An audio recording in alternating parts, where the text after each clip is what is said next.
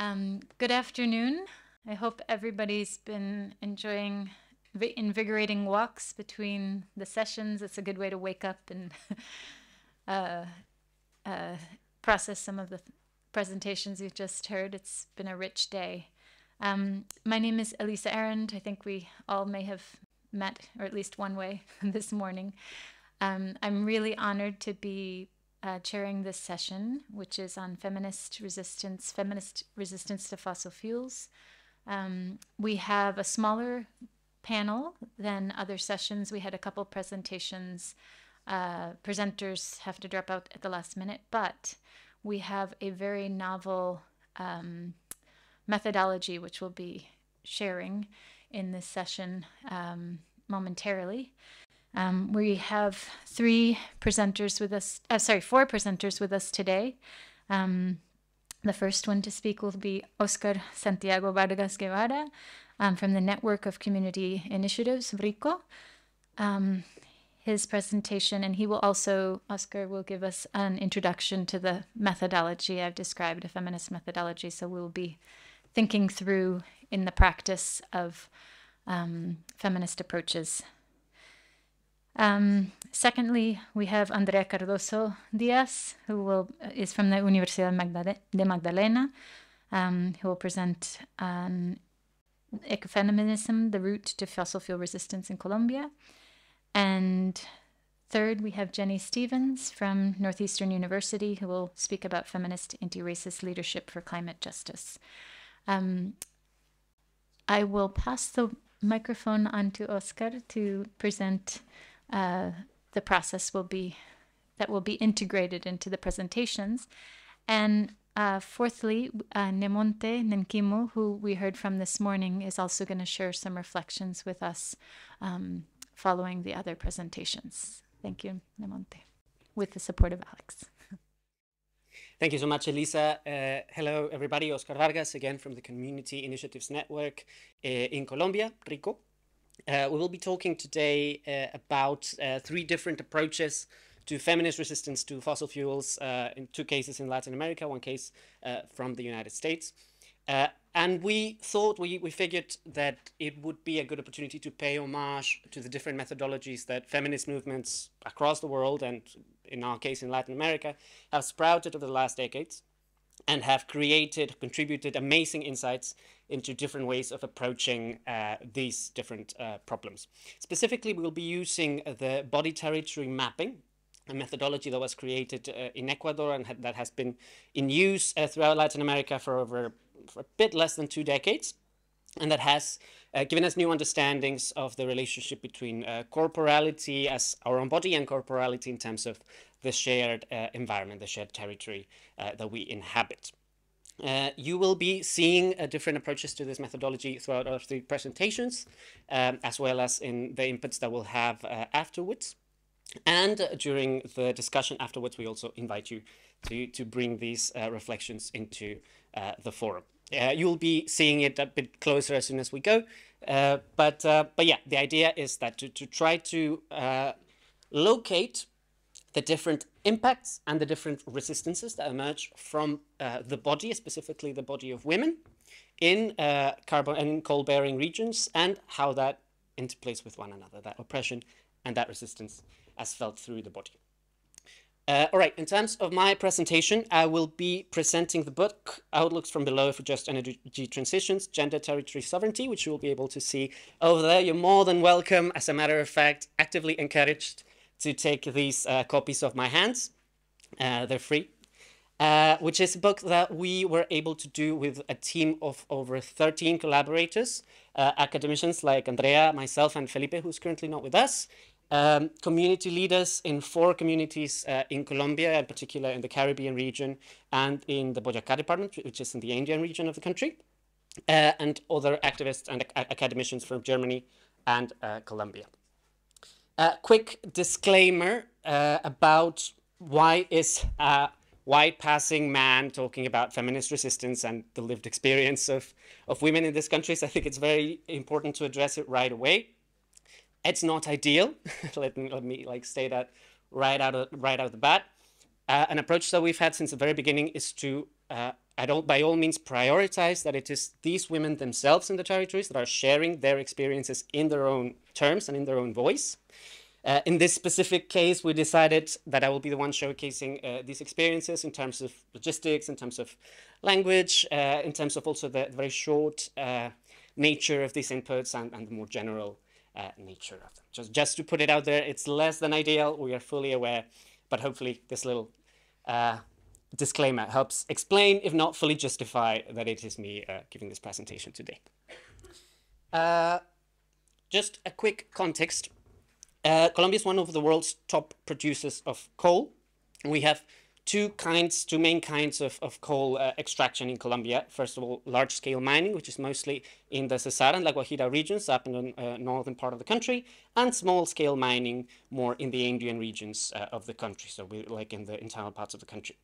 Large-scale mining is responsible, was responsible for 51 million tons in 2020, 92.5% uh, of which was destined uh, to be exported, specifically to Turkey, Chile, Brazil, and Israel as our, as our foremost uh, coal buyers, um, and until not, long, not so long ago, Germany as well. Whereas small-scale small scale mining uh, is responsible for far less, 3.9 million tons in 2020, uh, and most of which was used for national consumption. That will be an important distinction when we uh, board the analysis that we make in different in different contexts. Of course, uh, as we uh, know in this in this context, uh, coal brings a lethal curse to the to the countries and to the territories uh, that it affects. It has environmental impacts from soil degradation, river deviation and contamination, air pollution, uh, deforestation, and so on impacts on health, uh, cardiovascular, neurological, and respiratory conditions, specifically for infants or children under five, year, five years of age. Issues of security, in the case of Colombia, funding of paramilitary groups uh, was encouraged through these um, big multinational companies. Social impacts, including the degradation of the social fabric and the cohesion uh, inside the local communities uh, gender-based impacts insofar as these mines also act as hubs for prostitution and a uh, sense of heightened uh, gender violence uh, and femicide. And as well as cultural impacts, um, which Nemonte actually addressed uh, earlier today, insofar that these projects uproot entire communities and yeah, encourage the loss of, of, their own ways of lives, leading to epistemicide or the killing of entire ways of knowing and understanding the world. And yet, it is local communities, as we, as we also heard previously, that have led a fierce resistance to coal uh, and fossil fuels, and women have been at the forefront of that struggle.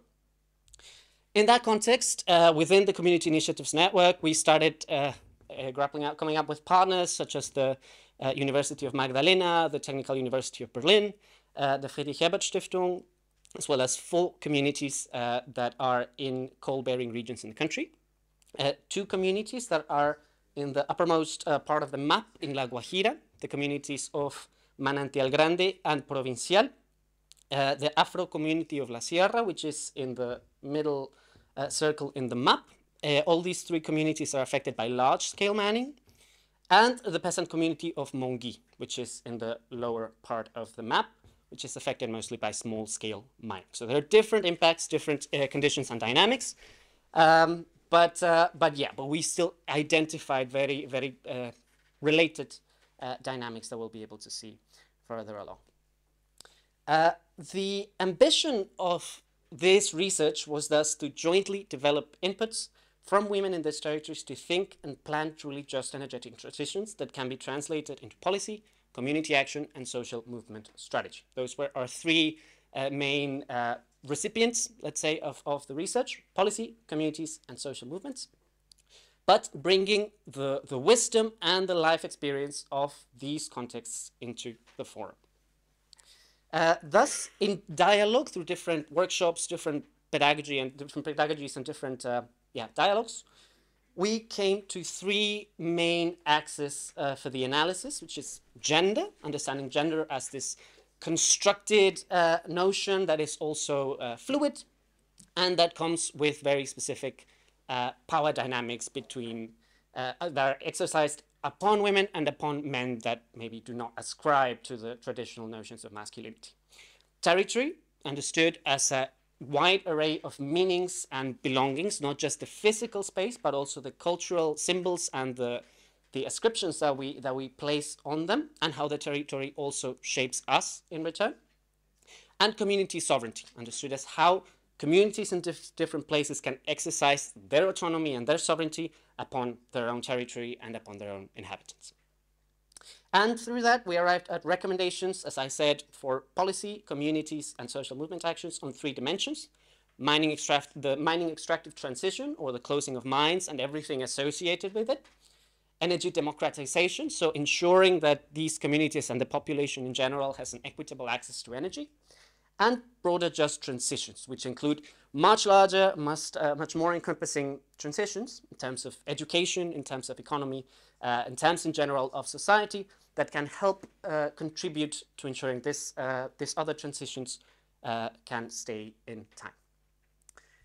Um, all right, uh, to start now with our methodology on the body territory mapping, uh, the idea is we will be uh, locating through, through the different methodologies that we use with women, locating into the body of this woman on the screen, uh, how they perceive the different impacts and the different resistance from, from within themselves, within their own bodies. And I'll give you a couple examples of how we integrated that into the analysis. This wasn't the only methodology we used, but it's already a pretty good example to see how uh, we were thinking when we approached this research. Uh, in the case of indigenous women in La Guajira, the northernmost part of the country, perhaps the symbol, the, the, the place that was um, referred to the most was the, uter the uterus, which they related to the their entire territory as a whole. Insofar that Earth, uh, in their language Ma, is uh, the uterus that births all life. And open pit coal mines are open scars, open wounds within the territory, which is even a very visual uh, allegory and reality. Uh, and that's and that's how they perceive that impact also upon themselves. Insofar that uh, to most of the female leaders we, we interviewed and worked with, uh, perhaps the worst of the impacts are health conditions to their own children, specifically those below the age of five, representing a very heavy, harsh impact uh, on their lives, but which at the same time is what motivated most of them to become active in the struggle against coal. So it's important to see this interplay between oppression, very real oppression, and action on behalf of these women and how these things uh, correlate. Departing from these uh, observations, uh, we arrived at uh, different uh, realizations. First of all, understanding that the impact of coal on the territory itself is incalculable in US dollars, for example. And we must acknowledge that these violations uh, are ex were exercised upon the territory as a living being. Thus, reparations are needed for the communities, for the territories and the ecosystems themselves. But most importantly, we need to let it, let, pretty much let it go. We need to let the, terri the territory recover on its own. And this within a time frame of generations. This is not something that's going to happen uh, from here to 10 years from now, but probably hundreds and hundreds of years under the stewardship of the local communities that, that know uh, its rhythms uh, of life. Uh, in a similar way, addressing health conditions in infants must be a top priority, and specifically medical professionals in these regions must be completely unbiased and must not be uh, coerced uh, by the different mining companies, which is something that has been uh, referred to us uh, often in the conversation. I'm already at 12 minutes. I'll just do another example and then I'll, we can maybe talk about it at the end more. Take your time. Um, great. I'll, I'll maybe get onto this example.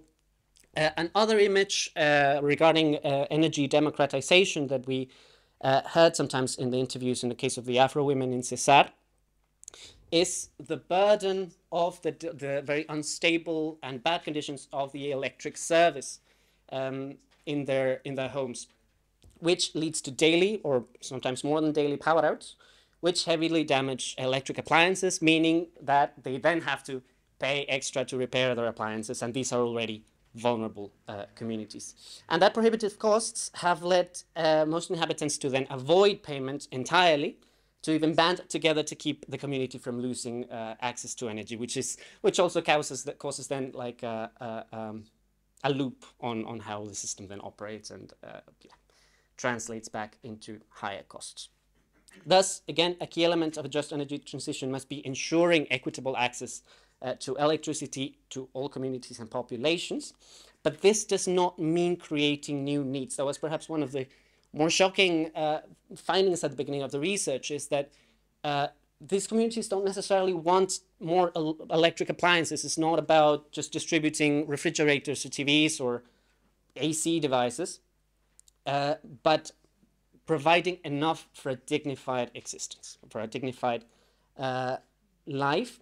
One of the women actually said to us, uh, to answering to the question, what would you use uh, more electricity on? And she just said, I want to be able to blend a smoothie for my husband every day in the afternoon. And that's that's it. So that's that that brings with it that that notion of um, yeah of of energy efficiency in many ways. Uh, another example is uh, the heart, also in this same uh, community of Afro women in Cesar. These communities have long fought uh, against uh, private landowners and land grabbers, uh, and they do so through a process that they refer to as picas. This is a moment where the entire community gets together. they uh, wield drums, uh, they share food, laughter, and then they go and together destroy the fences of the different uh, landowners in their immediate territories. Uh, and for them, it's, it's, it's a festive process. It's not a, a process of violence, but a, festive, but a, but a process of, of life, of music, of, of, of joy. Uh, and the rhythm, the, the drum, is a central part of this, of this process. And that's something that then relates back to how they understand uh, their struggle. Uh, leading back uh, to, to uh, social movements and to communities, this, for example, was for us crucial in saying uh, that action and community action needs to start from there. And we need to acknowledge that as social movement actors, that it's not all being here and, and, and talking and, and all of that, which is important, but also acknowledging the power of song, acknowledging laughter, acknowledging food uh, as a space for community building, also crucial in these spaces, also crucial as a way of creating networks, creating community that can then strengthen our struggle over time. Also helping keep keeping communities safe, which is crucial in this uh, difficult contexts. Um, and so on. Okay, I did have some other examples. I think I'm going to leave it at that. Um, happy to share more uh, insights later on. You have the books over there. Just uh, as a final um, remark, most of the recommendations that we arrive at in the book, they're not new. They're not specifically new. Many of them have been uh, quoted numerously in different publications. But I think the key aspect to take from here is the perspective from which we are boarding these different scenarios. Like how are we centering the voice of women, the voice uh, of local communities, and how these can, uh, in turn, open up new avenues uh, for action. Finally, women are without doubt the main victims of coal. Women in the in these territories, through care work, through all these different things, patriarchal dynamics in both in their communities and those uh, imported from Western institutions but and they need to be the, the, the key recipients uh, of reparations and the key recipients of, of restorative justice. But at the same time they're also so much more than that. They are agents of change. They're agents of transformation social cohesion in their communities and societies. And they are the guardians of ancestral knowledge that will be key in restoring these ecosystems in due time. Thank you so much. Thank you oscar. Thank you uh, thank you, Elisa, and thank you, Oscar, for introduce this new methodology of body mapping. Um, I'm going to talk also about the Colombian case, uh, a different perspective about the ecofeminists, like the roots uh, to fossil fuel resistance. Um, yeah, I have been working about coal mining uh, conflicts, coal mining um, environmental conflicts impacts in the Caribbean region since 2012. So this is like a, a, a collection of, of uh, what I have seen in the territory with the women's. Um, first, uh, continued the methodology of uh, body mapping. Uh, in Colombia, the coal mine is an open pit coal mine. It's a like a big hole, hole so for me, this big hole is like a, the, the division of your body into parts. Imagine a huge hole in your stomach, like uh, the open pit mine. So I wanted to, to show you that. And, and also here uh, a little context about the, the Colombian coal. Um, importing countries, a Colombian coal export. Also, uh, Oscar uh, tell you some data about it. Uh, what I want to tell you is that Colombia is the fifth largest coal exporter in the world. And uh, here is the, the, the largest coal importing countries. Uh, the first one is Turkey, and uh, the second one is um, Brazil, Chile, and Israel as well. And we have a peak of a coal uh, exportation in 2017. And we suppose since this year we were, expecting that the, the decrease of coal extraction. But now with the energy crisis, there is a, another context that we don't know what is going to happen. And also there are a lot of pressure open a new uh, coal mines and yeah, to expand the, the coal mine. Mm, so about the ecofeminists. So uh, ecofeminists point out the, the historical, material, and ideological contention between the subjugation of women and the domination of environmental. So as you, you saw, the, the extraction of coal like uh, is, is based of uh, patriarchal uh, notions and the fossil fuels extraction is based on uh, those patriarchal notions since nature is seen as something to conquer. Uh, also, fossil fuel extraction is, is fueled uh, by patriarchal categories such as power, progress, and development, which is a very tricky, I, I, I, want to say very tricky notions about development because the government said that they, uh, they want to extract coal in order the development of the countries, but the women said always development for who? Because we don't see the development in our territories. So this, uh, this uh, notion or these concepts are very uh, patriarchal co uh, concepts. And in Latin America, the ecofeminists, uh, they, there is a, a fundamental uh, notion of care, care about myself, about my family, my community, about my land. And in this notion of care, uh, they also talk about that we depend of nature, the way that we think about our our environment, our forests, our jungle, our mountain, is that we depend of that. So this is uh, eco-dependency. And also uh, the women uh, uh, talk about the cooperation, the solidarity, the community work. also as a, the Zapatista movement, put the life in the center of all the discussions so what I uh, did is try to analyze how um, the ecofeminists and the empowerment of women um, is um, yeah uh, how the ecofeminists and the uh, empower of women is like a, a transformative motivation to resist the call, but also to create new initiatives to transform the lands. So that we see uh, about the ecofeminists is the the women. There are plenty of women that, uh, for example, groups uh, that are, are based uh, of women.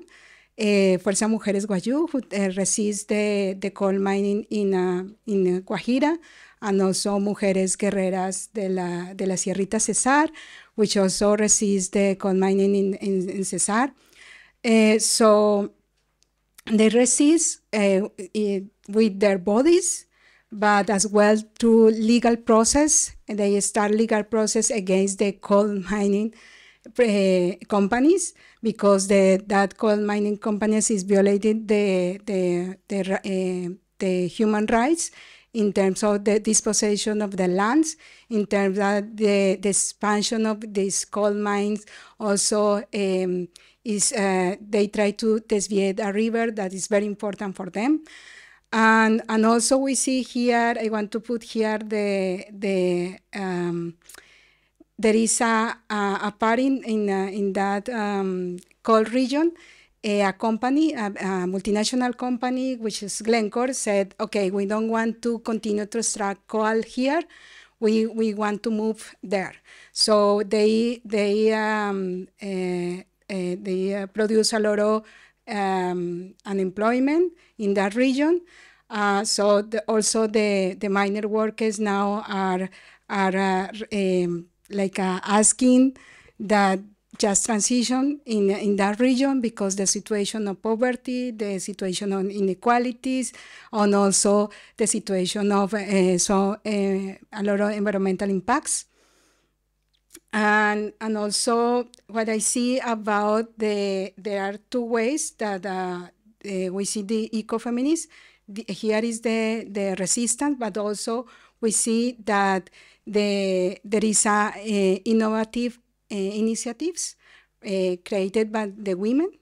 Uh, we collect different initiatives in the in the whole country, and we see that the the um, common motivation in the all the initiatives was the ecofeminists and the empowerment of women. In all the initiatives, the, there always a, a, a women in charge or a group of women in charge of all the initiatives. That's why I'm mapping from the head of uh, the women, try to to uh, to innovate, uh, uh to do um, uh, uh, initiatives to transform and to, to look for a just transition in terms of food sovereignty and community autonomy. also, there, here is a, a group of Afro-Colombians on the south of the country that uh, this group of women work together in order to uh, find a way uh, to create new uh, network for services like a, uh, they call it in Spanish cambio, which is the they exchange services, things, uh, work. So it's a, as a way that they are um, um, they are uh, try to to uh, rescue their not the traditional knowledge, and also uh, they they do this chain of medicinal plants and gardening. And, and also here the, the intercultural education based on indigenous com, cosmogony. Uh, in my university, there is a, a student that she created a, a, uh, like a, a, school in the in the mountains, and she tried to to exchange the, the knowledge between the, the, young people and the new university, but also with the indigenous uh, indigenous in the in the mountains. So uh, as you see here are the women that are the same are, re, are resistant at the same time, but also they are creating new ways for for just transition. Uh, so the conclusion, uh, we identify great difficulties in flourishing uh, community initiatives in territories where there is large scale extraction of fossil fuels. For example, Fuerza Mujeres Wayuu focus their resistance on denouncing the impacts of coal mining, the risk of expansion, and also the, the forced displacement and human rights violation but they spend all the energy to do that. I, they don't have the, the time to create new uh, innovative ways for a just transition. So they they like uh, when you talk with them, you see the, the frustration of, of the people and also the, the a lot of struggles in their fight, but you don't see uh, the uh, new initiatives in the territory.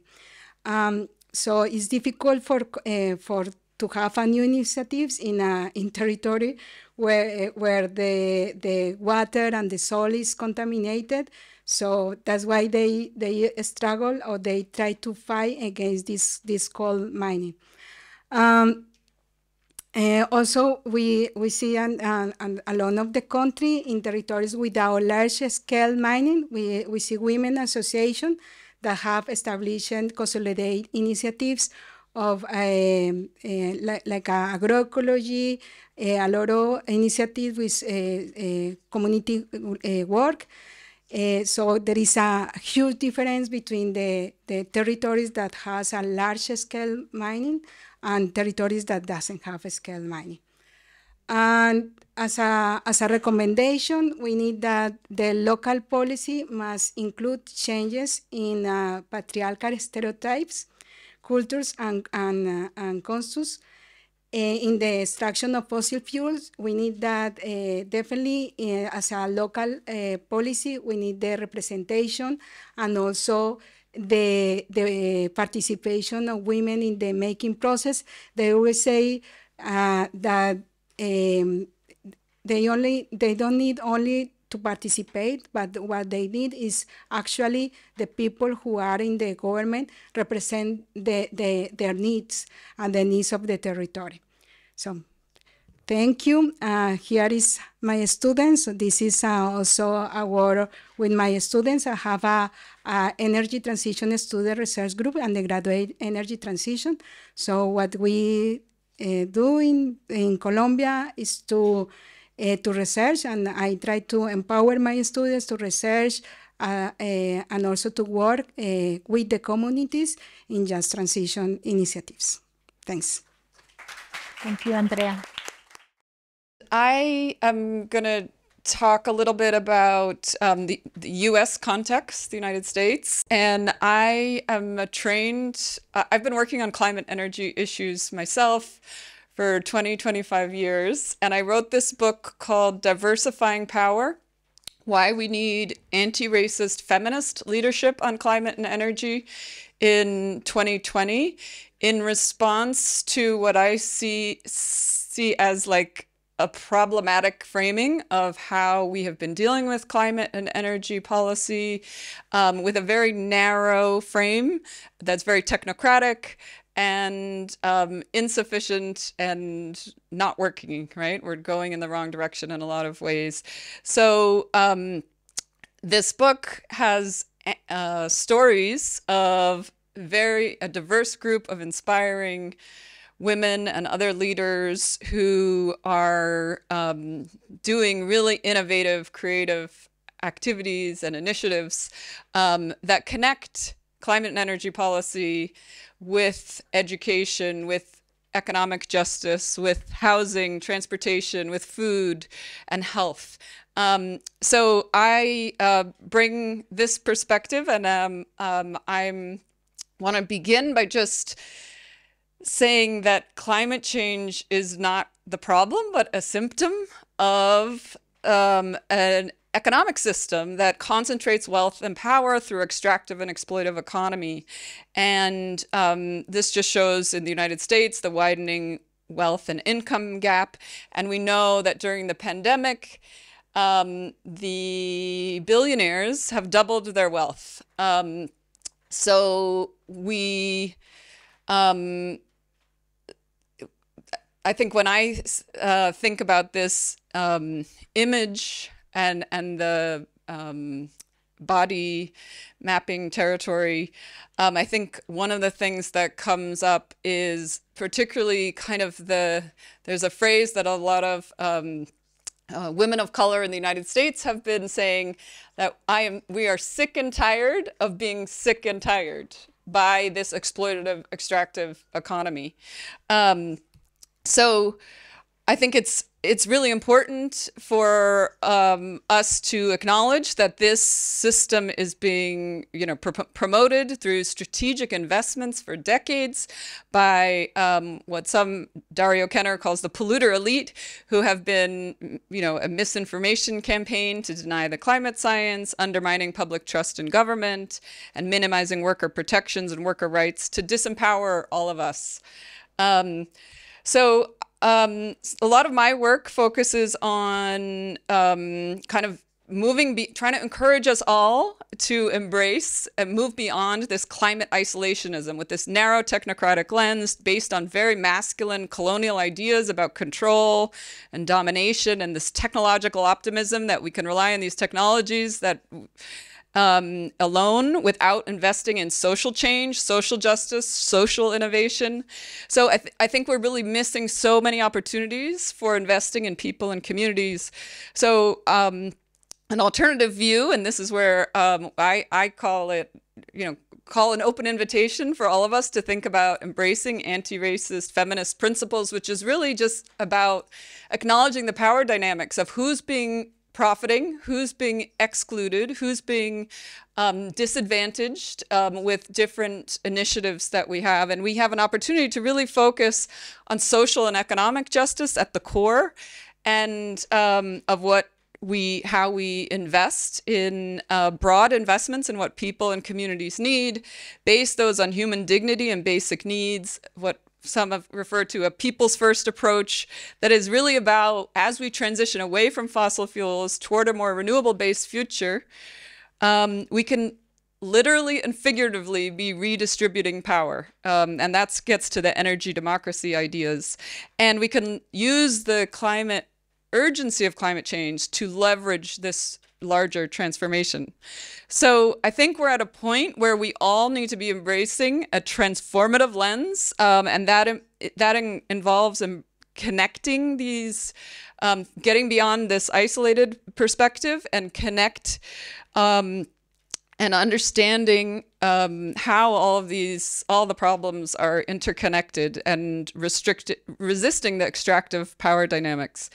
Um, chapter one of my book is called Growing the Squad, and the squad are these um, the image here on the your right of these four junior congresswomen who came on the national stage in the United States uh, just in the past few years, and they really changed the whole discourse on climate and energy because they connected it with racial justice and social justice and housing and transportation and food and economic justice, and they based their work on collaboration and inclusivity and participation, really distributing wealth and power rather than concentrating it, which is the opposite, um, and, and focusing on reducing inequities and disparities by centering racial justice, economic justice, and energy justice, and leveraging transformation by linking the problems together rather than keeping them all separate. And obviously, the antithesis of this kind of um,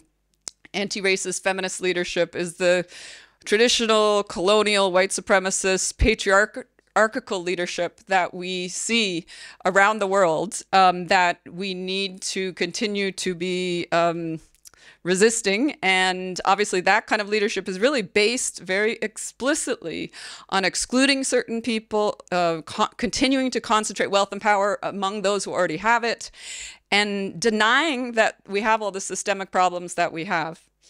So um, a few years ago, actually, this is a paper that is very connected, and I'm so glad I got a chance to mention it in this panel. I we um, wrote and then kind of introduced this idea of embodied energy injustices, and this relates to many of us have thought about energy injustice. Um, um in different ways, but what we wrote about in this uh, paper and this concept is that the the coal mining in Colombia and the and the injustices that happen in Colombia, those that coal, some of it is shipped to Massachusetts where I live, and we were having conversations and and activism in Massachusetts about resisting the coal mining. Um, I mean the coal uh, power plant, but we aren't always connecting it with the injustices of the coal exploration and, and mining. Um, and so with this paper, we um, bring together and, and encourage us all to think about energy justice and all the injustices all the way along the fossil fuel extraction and supply um, um chain. So another um, piece that I think is really important. We've everyone's heard a lot about climate denial. Um, and that is kind of kind of blatant, saying you know there's no such thing as climate change. Um, but one of the things that some of us are now thinking a lot about is climate obstruction, and we've talked about it quite a bit in this conference. That um, now it's more delay, right? Um, and a subtle deception and distraction with, all, and kind of a lot of this co-opting of the language, language for, um, and this continued technological optimism, right? That continues to um, uh, be so strong. And I think one of the things um, that the, the this delay really relies on is not listening to um, um, those who have who are not part of the traditional mainstream policy conversations, including women and women of color in particular, indigenous folks. And I think that um, on the body mapping, I think you can really think about it as um, the mouth or the, you know, not not being listened to, not being not integrating voices um, um, in into the that. So another piece of this that um, comes up is the racial injustices of fossil fuel extraction and fossil fuel mining, particularly in the United States. Uh, many of fossil fuel extraction um, and fossil fuel refining has been um, is, is is cited in in um, communities of color, and the um, kind of very strategic um, approach to try to appease those communities and um, get get some kind of implicit uh, or, um, approval and and then but those communities then have disproportionate health negative health impacts and all kinds of other negative um, impacts.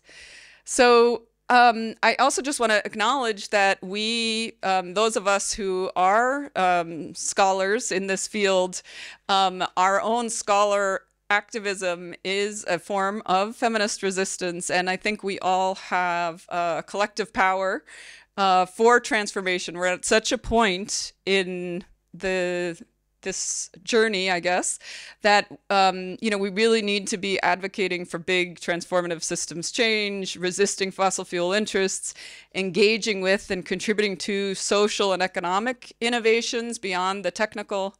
Um, and supporting cooperatives and novel economic structures in in our own lives and in uh, different ways. And a shout out to the Fossil Fuel Non-Proliferation Treaty, uh, which we'll hear more about this afternoon. Um, and I just also want to acknowledge um, a lot of my colleagues and collaborators and look forward to the discussion. Thank you.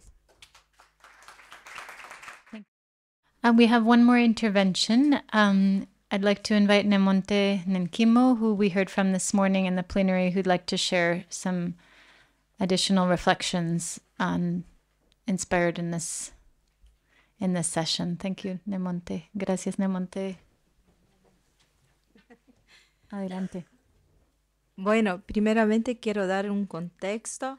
Eh, nuestra cultura eh, era muy respetada, hombre y mujer eran lo mismo. No había el hombre decide, la mujer decide, porque en este contexto, mi cultura, antes de contacto, vivían, la mujer y el hombre decidían juntos. La decisión y paz era la mujer.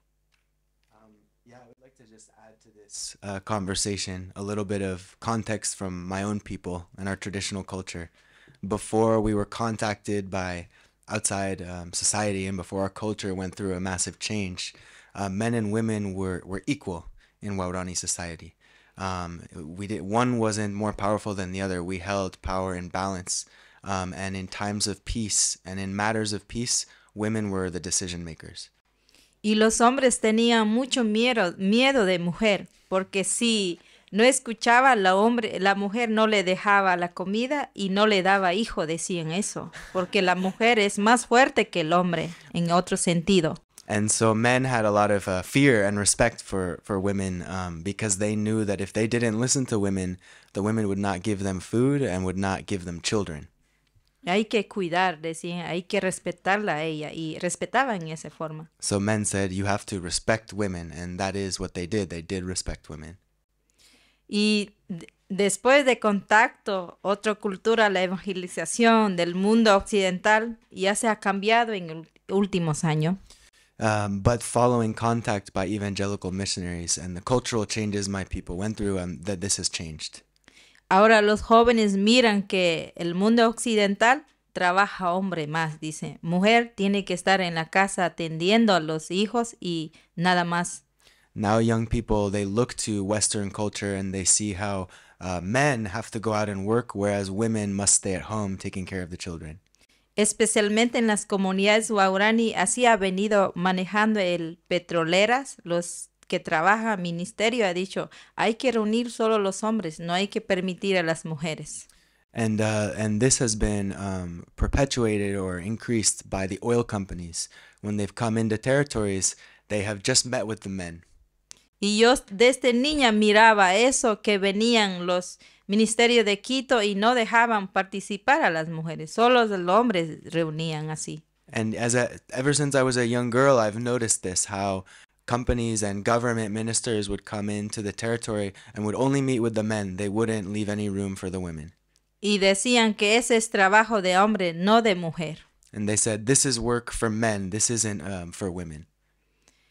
Y en ese, viendo, dimos, las mujeres son, nosotros pueblos indígenas somos muy inteligentes. Y decimos que los hombres decidían, eso era trabajo que no lleva mejor a la familia. Realmente vimos que la conexión con la mujer ya hubo la separación, no hubo la relación fuerte. And we saw how um, the separation between the relationship between men and women in our culture um, caused great harm. But we indigenous women, we're very intelligent um, and we're always looking at future generations and we understand the role we need to play. Y eso yo he eh, eh, venido en mi lucha también luchando bastante, eh, fortaleciendo a otras mujeres, escuchando a las mujeres más sabias, más adultas. And a big part of my struggle has been about uh, uplifting and strengthening women and listening to uh, my women elders. Y yo he visto mis propios ojos que los hombres son muy débiles y no se pueden controlar con, ni con el dinero ni con el alcohol. Uh, I have seen with my own eyes the weakness of men, how they are easily corrupted by money and alcohol. Pero mujeres somos muy fuertes y sabias. Lo queremos lo mejor para nosotros que alimentan. Lo somos mejor conectando. Lo queremos lo mejor para nuestro hogar. But we women, we're wise and we're intelligent and we're always looking to the future. We want what is best for our people and for future generations. En todo sentido, no solamente en el hogar. En todo sentido, yo he dado cuenta que mis abuelas dicen la tierra es la madre, que nos da todo el alimento y la tierra es muy respetuosa. Uh, and in every sense, I'm not just referring to within the household, but in every sense, we women, we see Mother Earth as, as a woman herself. Así somos las mujeres. Las mujeres damos la vida a nuestros hijos, alimentamos y lo queremos mejor y el hombre tiene que respetar y tratar bien. No el hombre tiene que tratar mal para que le dé amor, cariño y la vida. Uh, Mother Earth to us is a woman. She gives us life. Uh, she gives us everything we need. And we women are the same. We produce life. Um, and so men must respect us and they must respect that position. Y mujeres indígenas tenemos esa conexión con la tierra. Cuando la tierra sufre, cuando la tierra está enferma, las mujeres indígenas sufrimos y sentimos enferma. We as indigenous women, we maintain that connection, that strong connection with Mother Earth. When the earth is sick and hurt, we feel that same pain. Y por eso es muy importante en el trabajo. Yo tengo mucho respeto. No estoy diciendo el, el hombre es mejor, la mujer es mejor. Para mí es mucho mejor es trabajar junto, equilibrio, dar la mano al hombre y a la mujer. El hombre no puede vivir sin mujer, la mujer no puede vivir sin hombre. And in uh, in work uh, and in my work, um, uh, what I'm trying to say is that I don't believe uh, men are better or women are better. I think that they're they're equal. Um, men cannot live without women, and women cannot live without men. Ese es principio de nuestro, nuestro valor y nuestra sabiduría que hemos aprendido muchos años. Hemos vivido como cultura indígena esa forma, sostenibilidad de hombre y mujer, no individual, no otra forma como eh, sentir eso. Tengo esa conexión. Yo muchas veces eh, con mi papá, yo he visto bastante y siempre veo que es compartir. No es que hay que dar poder ni al hombre ni a la mujer. Siempre respetando entre los dos ese equilibrio. And this is a core component of our belief and and and our lives as indigenous peoples is this um, this equality between men and women. Um, and this is something that is is really critical is to return to this balance um, to find balance both within our communities and with Mother Earth. Pero yo veo el sistema de la vida de aquí, de grandes ciudades, de esa otra forma. Hay muchos hombres que quieren más a las mujeres muy poco. Eso yo veo que no estamos respetando. En principio, como mujer, le digo, ahora hay que hacer ese trabajo, hay que hacer armonía, hay que hacer fuerte este, este con laxo como una cadena, lo podemos hacer lo mejor. But I see how in industrial societies there's this imbalance of power that privileges men over women. Um, and if we continue down this way, it, our whole system, our whole life system will collapse. So we have to reclaim that balance. Más importante es, es el respeto. And that's based on respect. Ahí nomás. Thank you.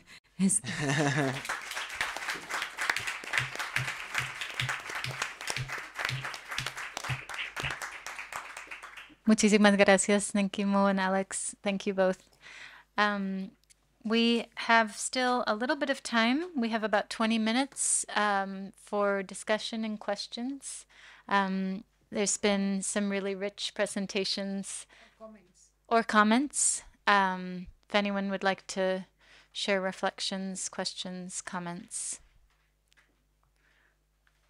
Um, oh, maybe. Oh, sorry. Go ahead, Ines. Yeah. Okay. And then Zach. Thank you. Uh, Shinya Sayama from National Institute of Women's Studies Japan. So I come from one of the most patriarchal, uh, misogynistic societies. So I'm, I'm, I'm ashamed of that. But at the same time, maybe I'm uh, also very insensitive to, to the gender equality, or maybe I'm uh, also captured by the fear, men of fear. Mm. But anyway, so I'm, I'm, I'm just wondering about, about, I wanted to ask about a question about coal mining and then fossil fuel extra, extra, extraction. And I'm wondering about because even if we move away from fossil fuel to to the renewable energies, we still have a lot of mining in a rare material, rare, rare like you know metals, which also quite have the same problem as mining. And so if the mining itself is a problem, it might be also like you know we will have the same problem even if even if we could like move away from fossil fuel uh, mining. So um, and perhaps that's the way I think as Jennie said it's important to to see the diversified power, not the concentrating power.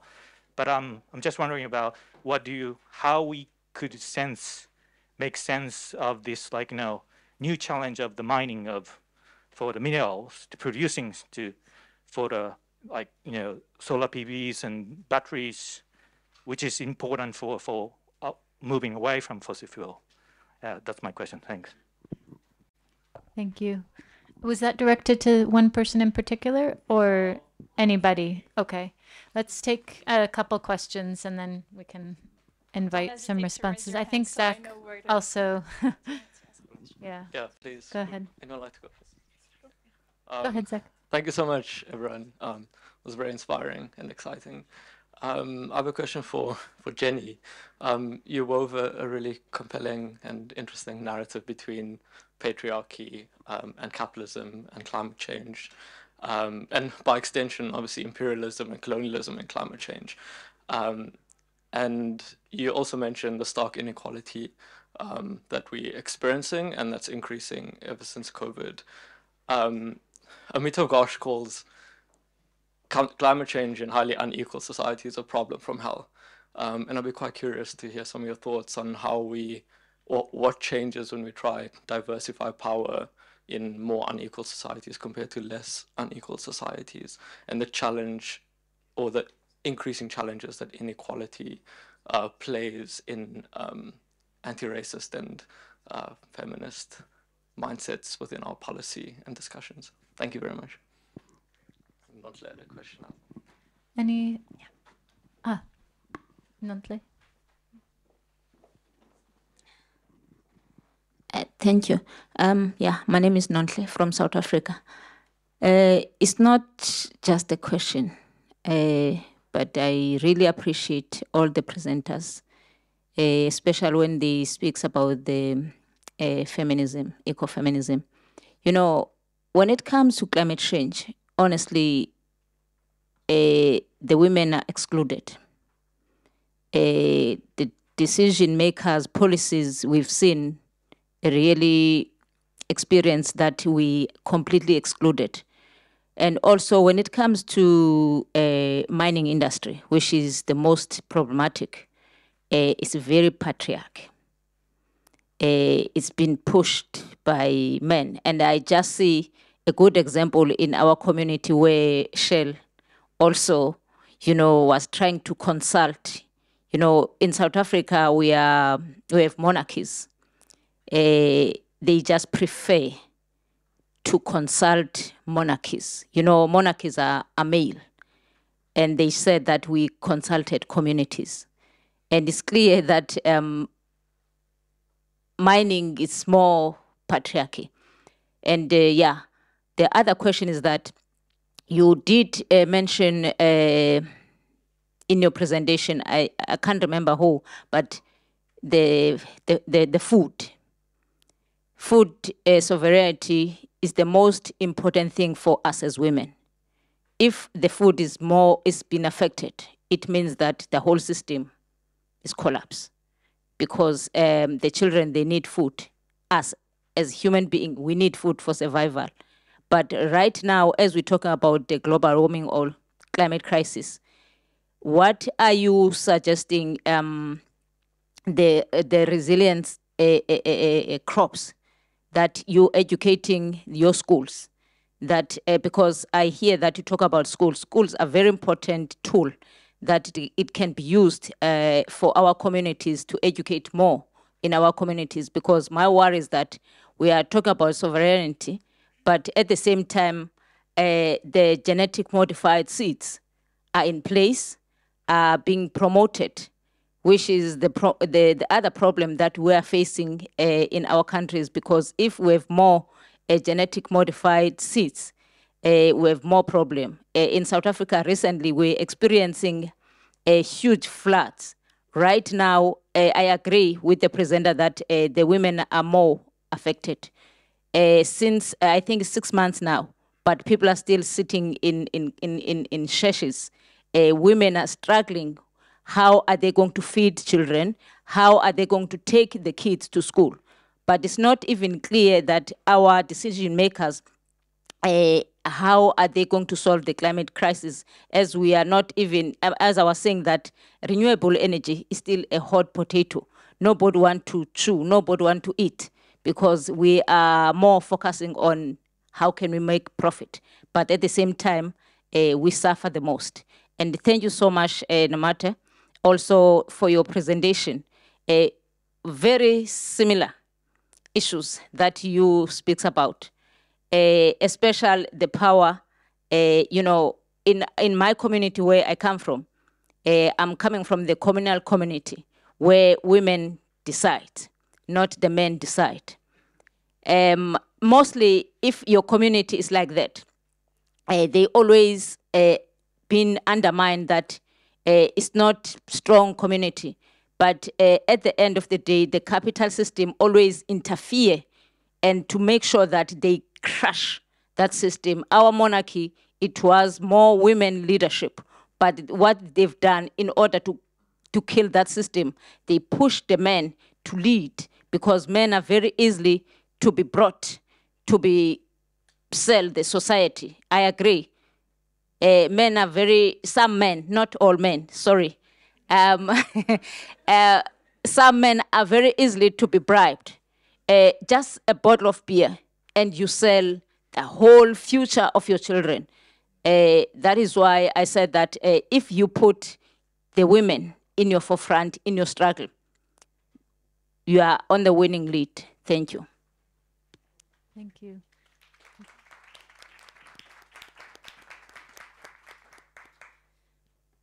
Any other questions, or we'll do a round of responses. Um, would you like to start, Oscar, and we'll work this way on the mineral question? All right. The yeah. mineral extraction Sure. frontier. I'm not sure if this. Oh, it's on. Um, yeah, I'd like to comment on uh, the first question um, about uh, how renewable energies still uh, come in with with uh, a very strong extract or can come with a very strong extractivist uh, paradigm, be it uh, the mining of copper, lithium, everything necessary to produce uh, solar panels, uh, windmills, all of that. That that's completely accurate. and not only the issue of, of mining for the components, but also the issue of how these photovoltaic systems or the windmills are set up within the territories. Uh, in the north of Colombia, uh, there are already large scale plans to pretty much uh, implement parks of huge parks of, of solar panels or huge parks of, of windmills uh, which are in, in, in and as of themselves very problematic because they still ex exclude the local communities from using the territory. Uh, in most cases, they do uh, degrade the territory by just uh, putting up a, a full uh, layer of beton on top of the on top of the soil. Um, so that indeed is very problematic. Like everything around renewable energy is in and as of itself also a hot potato debate, uh, as you mentioned. But we are definitely beyond the question of of if uh, renewable energies are, are better, but it's definitely a question of how. How should we implement uh, the energy transition uh, in a way that transcends uh, this colonial paradigm and this patriarchal uh, paradigm? In the case of our research, we, for example, focused on instead of just uh, paving and building uh, huge solar parks, how would it be if on top of uh, everyone's house they could install one or two solar panels that they could then feed into the grid? Um, be it direct, either directly owned by the community or owned by a private agent who could maybe have some sort of agreement uh, with the company. So yeah, it's definitely a question of, of how do we do we do the energetic transition? Um, yeah, that can transcend those paradigms. Okay. Um, yeah, yeah. The the important thing about this panel about feminists and ecofeminists uh, is that in the in the transition uh, in the territory, we don't think that the uh, the energy transition or the fossil fuels phase out is to move uh, to renewables energy. What we need really is to to change the values of the society.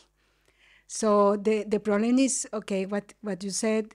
If we move to renewables energy, we'll still will have we will have still the same problems as as the as the mining coal mining is the because it's the same patterns as as uh, Jennie said is based of uh, capitalism is based of patriarchy and is based of of um, of extraction of the of the all uh, from the from the land. So here um, the thing, the, if you think about the ecofeminism and the values that the ecofeminism said of uh, the notion of care, of the notion of put the life in the center, of the notion of, of um, community work, is to think about other values for for uh, for the transition.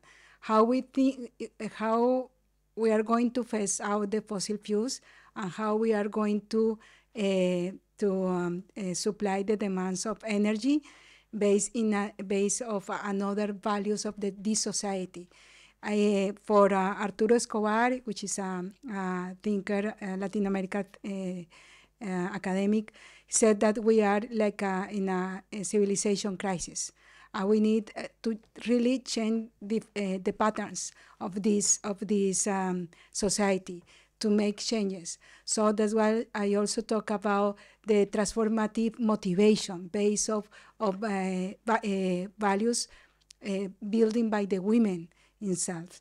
So I think, and I, I, I also need to, uh, thanks to Elisa and to Mikel and the whole conference that opened this, this panel to talk about feminists, uh, because as my what I learned about this panel uh, and what uh, uh, I forgot, I'm really bad, uh, her name? Nemonte. Uh, she was saying that what we need is the harmony between the uh, women and men in the fossil fuel resistance, but as well the fossil fuel policy. So we are talking here about the fossil fuel policy, fossil fuel uh, climate policy, and fossil fuel phase out. But what about are, are we thinking how to change the system as well? How we are going to approach that? So this this panel is like a window. We we are planting some seeds for for the for uh, for changes. So it's, it's, it's nice to to to think about uh, uh, different values and different perspectives of the climate policy and the fossil fuels. Yeah, out. Yeah. So um, I wanted to come back to, I guess, first about renewables and mining, and um, I agree what um, was already said about. It depends how renewable renewables as a technology are not sufficient as an answer as a response right it's all about we but what is really important and this is where is sometimes lost in the technocratic discussions about um, moving from fossil fuels to a renewable based is that renewables every single community around the world has access to some renewable sources um, and so you can imagine a future with locally appropriate mix of renewables um, based on what's accessible in that place. Whether you're a coastal community, you can harness ocean and wind from the ocean offshore. If you're inland, there's geothermal, there's um, wind and solar, and and yes, there's some extraction that is necessary, but it's not a hundred percent just tr- moving from this to this, right? If we if we had that local generation, people would use the energy much more efficiently and so it, we're talking about a lower overall energy demand as well so so that's one one way to think about this um, why it's so important because renewables the, the renewable source of energy the sun comes up every day the wind blows the water will flow. Like we know they're actually more reliable more predictable abundant plentiful you know free the source itself is free. Obviously you need to invest to get a, a, a, way to harness that but so i think that's what's really important to think about for for renewables. Um, to the um, kind of diversifying power perspective and thinking about in, inequities and and um, in policy i want to just mention like so many of our energy policies so far have uh, advantaged those who already are privileged, right? The people who have electric vehicles or um, solar on their roof, you have to already have a single family home, right? And you have to have some extra money in the bank already. So there's a lot of perpetuation of inequities and actually exacerbating um, with our energy and climate policies. And the point is that um, I think it's not just in, in, in the United States context, at least, it's not just men and women um, and gender in that sense. It's also just acknowledging that when women, people of color, indigenous folks, others who have been disadvantaged or marginalized come to the table in decision making, they bring very different uh, experience that bring results in different priorities, different perceptions of risk, different um, uh, ideas, and and that is what's really important and what we've been missing when we have homogenous leaders making decisions or or or not diverse groups and and inclusive groups and so i just want to say that when i um, talk about feminist perspectives i'm not only talking about women um, and when I talk about anti-racist, it's not only uh, people of color who are anti-racist. We need everybody, regardless of your gender, to embrace a feminist perspective, and we need everybody, regardless of your race, to embrace anti-racist perspective, right? And and so it's an invitation for everybody to acknowledge the power dynamics and resist those, and then try to um, build in a better more inclusive, uh, and that's I think it's necessary for the change, the scale of change we need um, for a, a, this more integrated uh, feminist perspective. Thank you. Monte, do you wanna do you wanna share any reflections further, or we can invite some more questions? I think we have a couple more minutes.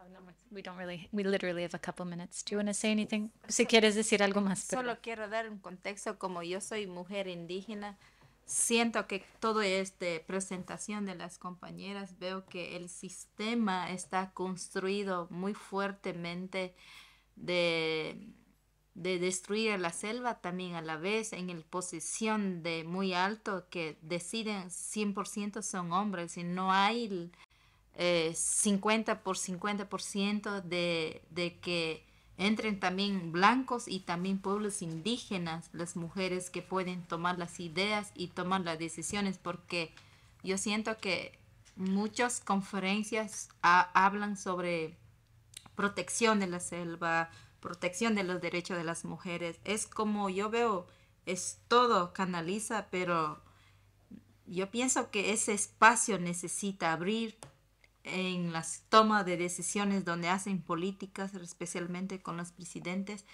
hablan en, en, universidades y en otros, pero en toma de decisiones no dejan participar a las mujeres ni, ni los líderes indígenas realmente, dejan solo posición y se representa el presidente y el grande capitalismo y eso veo es un es un riesgo hacia, todo donde estamos viviendo ese sistema como humanos. Sería mucho mejor eh, abrir ese espacio así, tomar, de, sea hombre, sea género, de todos, participar y tomar decisiones colectivas para el bien. Y eso es como un cambio, daríamos un paso. Si no, la, el año va como una hora, como un reloj y esa es una preocupación, pero a la vez siento una esperanza que ya hay voces más de las mujeres y hay movimiento de las mujeres. Tengo esperanza, más mm. años de ese espacio de construir mm. para el bien del futuro. Um, Yeah, so as an indigenous woman, a lot of what my um, my friends here on the panel have said really resonates with me, especially this concept of um, that there is a system in place that benefits and is run by men uh, that excludes uh, women's voices, indigenous voices, uh, voices of people of color in general. Um, and that trying to change things within this very same system and model is not going to go very far. Um, she's uh, Nemonte sees how a lot of times in decision making spaces, be it political or even in conferences where we're talking about climate change and just transition, she doesn't see an equal balance of gender, of indigenous people to non indigenous people.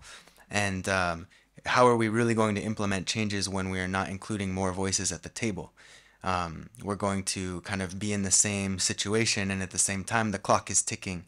Um, and so, if we want real solutions, we need to bring more a diversity of perspectives to the table. So that that really resonates with her. At the same time, she has hope because she sees how little by little there's a growing awareness of the importance of thinking outside of the box when we think of solutions, thinking outside of the system, and um, uplifting uh, indigenous or female perspectives in these spaces because the women and indigenous peoples have been um, thinking in a certain way for thousands of years and have just and valid solutions. And so we need to prioritize that more. And it's something that is slowly starting, there's starting to be a shift. And so that gives her hope. Thank you. Gracias.